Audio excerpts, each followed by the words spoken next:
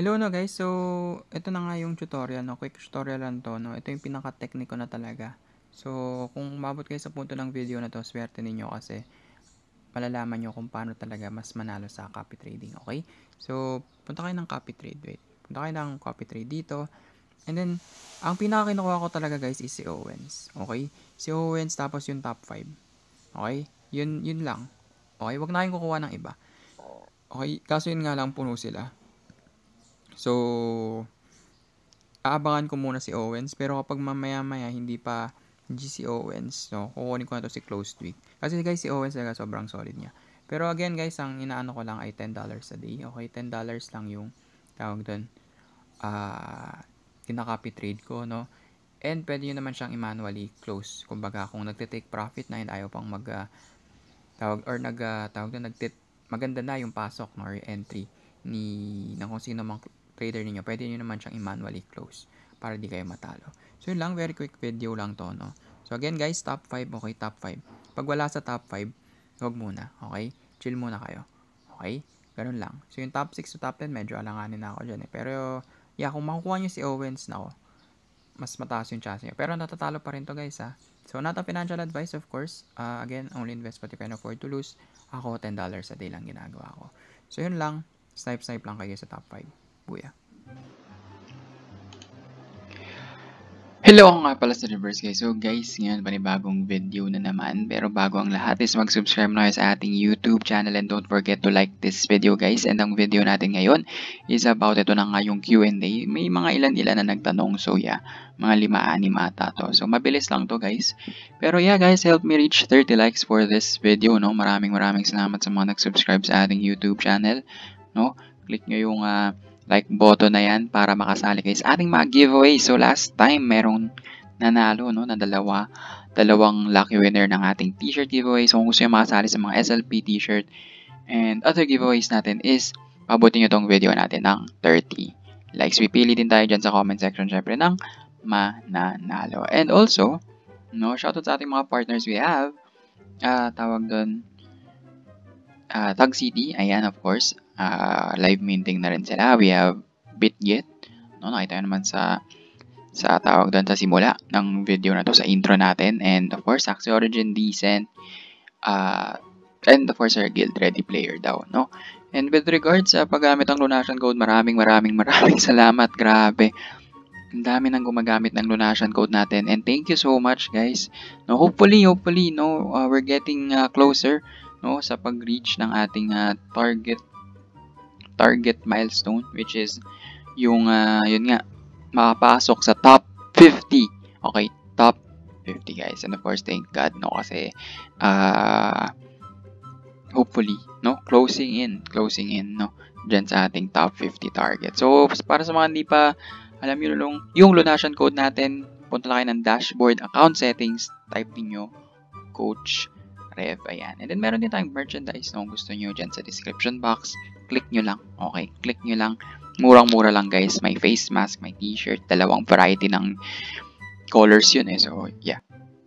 Okay, so let's start. Uh, photo, credit, or image by Ronin Daily. Shoutout sa Ronin Daily, syempre. Follow nyo sila sa Twitter. Okay, basahin natin yung unang comment dito. So we have in here, will Axie be in a good or positive place by end of this year? Actually, kahit mid-year pa lang, it's we're at a good position. No, masasabi ko guys, personally, good position. Saan ka makakakita ng game na magpapamigay ng almost like 30 million per season? 30 million pesos per season just for the prizes. Okay? So, ah, sige, maghanap kayo ng game right now. Like, live game right now na magbibigay ng ganun. Okay? Comment kayo. Sige, mag-comment kayo dyan ng game na pag magaling ka, kapag skilled ka, bibigyan ka ng reward na pera. Okay? 'Di ba? Hindi mo na kailangan maging pro, hindi mo na kailangan maging streamer. Ano, 'di ba? So, titingnan ko kung may mako-comment kayo. If meron, I will do research about it. Pero yeah, hindi ko man sinasabing Axie lang yung gagawa nun, no?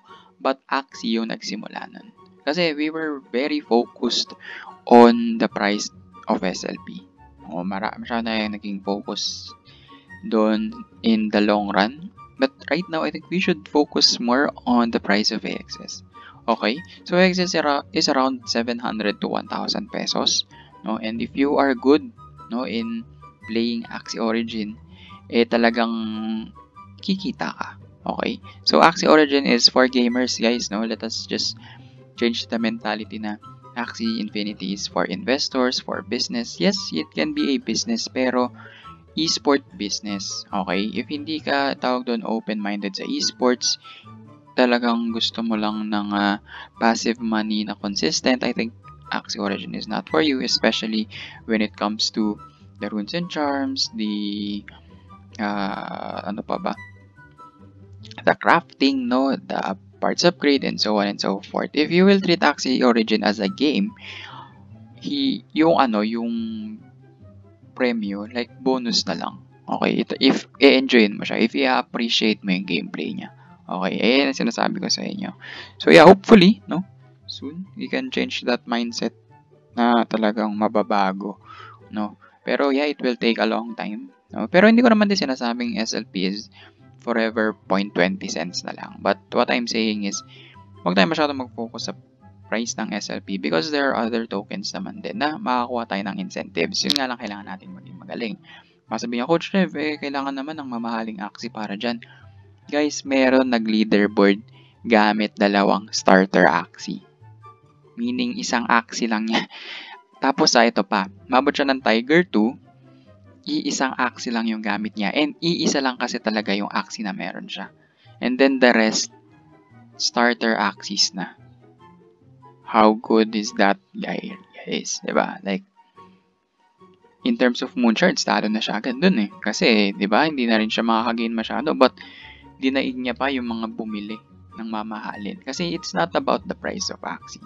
It's about the skill din. Yeah, may, medyo ano rin naman yung meta, di ba? Meron din tinatawag na meta cards, ganyan. But, if matyaga ka maghanap ng, ay, if matyaga ka mag-snipe, makakakita, makakakita. Ako guys, nag-top, you know, pumasok tayo challenger, di ba? Like, pumasok tayo challenger. Gamit yung surot, magkano ba yung surot? Kung nabili.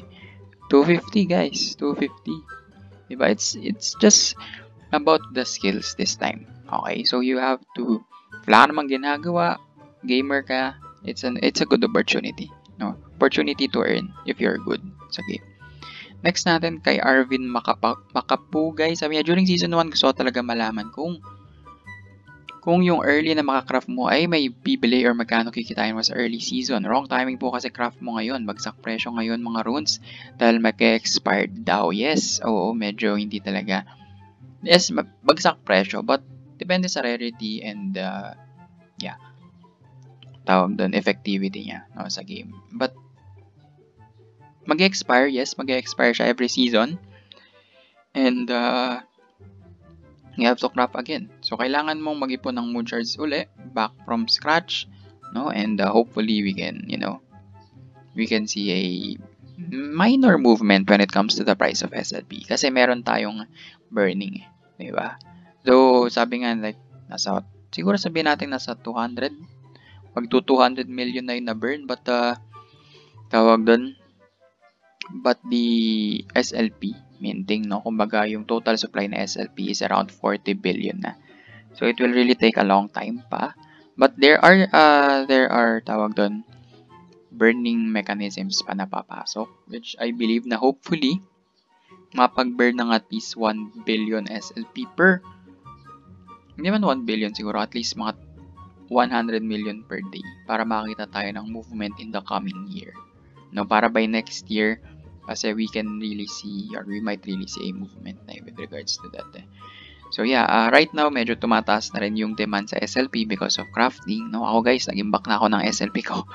No, for the next season, nag-save na ako. No, and uh, watch out for that. Ito naman kay Chris Motionless, sabi niya, price prediction ng SLP on season 5. Grabe. season 5, uh, per season daw is 60 days, which is uh, likely 2 months. So, sabihin natin season 5. Next month, magsisimula na yung ating official season 1, no? Tawag doon siguro 10 months yun eh. Hopefully magpiso in season 5. Season 5 guys. Hopefully magpiso. No, yun ang uh, hula ko No, sa season 5 ah. Guys, season 5. Okay, hopefully by season 5 by by the way or by that day, by the way, by that day siguro ano na yun, 2023 tapos 10 months October, uh, August August 2023 baka baka magpiso, 'di ba? And the next, lagi ba kada season disenchant ang mangyayari? Di kaya lugi ang mga small time. Ah, uh, shout kay Ram for Maran. It is a game, no, and you need burning mechanism. Reality is, guys, reality is kailangan ng kailangan nating gumastos no as a player okay? I mean hindi naman bersahan but what i mean is as a whole no kailangan natin magkaroon ng uh, drive kumbaga na i-burn yung mga SLP to achieve a good price okay? Yung man sinasabing mag-burn kayong lahat ng tigwa 1,000, di lang mga sinasabing ganun. But burning mechanism is necessary. Yun lang naman yung akin. Okay, yung thought na malulugi yung mga small-time active player gaya ko, uh, at some point, no, if maglalaro, maglalaro ka ng Axie, tapos, actually, hindi ka man malulugi if hindi ka naman mag-burn. Ang mangyayari lang kasi, kapag di ka nag-burn, wala kang palag sa leaderboard. Okay? Kasi wala kang makakraft eh mahina yung Axie mo guys. Kahit sabihin natin na ginamit pa yan ni Spam and Rise last season. Kung wala namang runes and charms yan, wala rin. Kasi ang nagpalakas lang naman din sa team nila Spam and Rise and yung mga leaderboard is their runes and charms. They were lucky or or they bought, di ba? They bought uh, runes and charms. So yeah, if ayaw mo na maglaro ng Axie, di mo naman type maglaro ng Axie, I think you can hold your SLPs, no? Uh, It's up to you kung magbo-burn ka, kung gusto mong i-test yung galing mo, no, makakuha ng extra money sa leaderboard. Pero sa tingin mo, wala nang palag yung access mo sa leaderboard and wala ka namang balak mag uh, mag-craft, no? I think yeah, wag ka na lang mag-craft, I guess, no. No, or you should just save your SLP. Kasi doon ka lang naman malulugi eh. No, kung sa tingin mo mamalasin ka sa crafting, tapos hindi na meta yung axi mo, So, I think wag ka na mag-craft. No? You just have to play the game and uh, hope na magiging swerte ka. Ganun. Kasi yan ang katotohanan guys when it comes to Axie Infinity right now. You have to craft. No? Darating pa nga guys yung parts upgrade. No? Darating yung parts upgrade na yan. Sa parts upgrade, kailangan mo pang i-upgrade lahat ng parts ng Axie mo. No? Kasi for sure yung mga leaderboard na yan, automatic upgrade na yung mga yan. No? Upgraded na yung mga runes and charms niyan. Tapos yung mga mouth niyan, horn niyan, mga level 100 na ano. So ganun. So we're really looking forward to that para maging stable sa SLP. Pero yeah, if hindi ka naman na, uh, you know, hindi ka na nag-enjoy sa Origin and tawag doon medyo tagilid na yung lineup mo, it's best, no? Uh, I suggest, I, it's best na you just hold your SLP, no? Para hindi ka malugi, no? Uh, kasi mahirap din naman talaga yung crafting. No, ako, it's just that I'm medyo concerned lang din naman ako sa mga, yeah, like, uh, yung mga nag-invest dati na yung mga teams nila hindi na okay, ganyan. Kunyari, yung mga termies, so far kasi, mga termies, it's still questionable if magiging, magiging meta sila eh, kasi, but hindi ko man sinasabing hindi na sila magiging meta, there could be some adjustments no, when it comes to the cards of the Terminators para ibalik sila ng devs. Pero yeah, uh, for now, if mga Timo Termi, Jumping Lason, yeah, like, medyo tagilid. Tagilid sila. And uh, I think you just hold your SLP. Pero kung risk taker ka, makakuha ka ng, ano, ng magandang rune and charm, eh di maganda, di ba?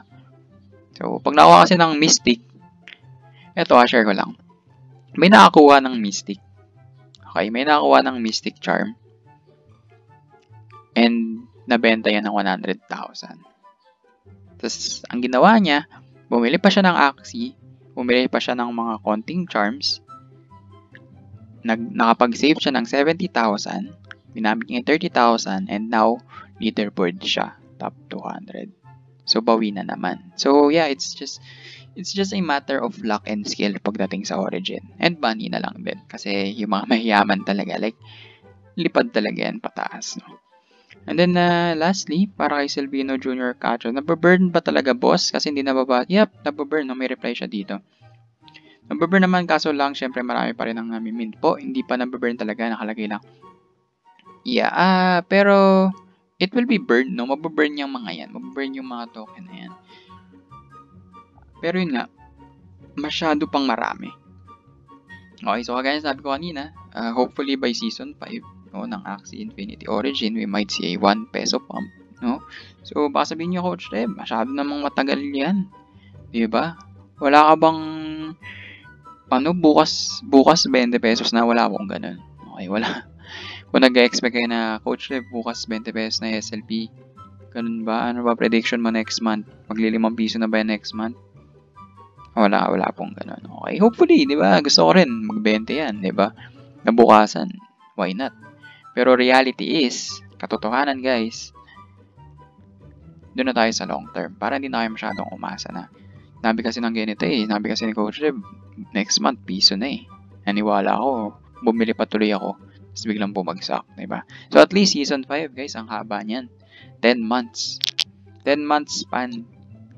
Malay natin. Hindi ko rin sure. Pero yun ang aking prediction na magpiso siya in season 5. So, August 2023. Okay, so August 2023, we might see a 1 peso SLP. No? Pero malay mo. Diba? December lang. Magdos pa. Diba? So, who knows? It's uh, crypto. So, very volatile and yeah.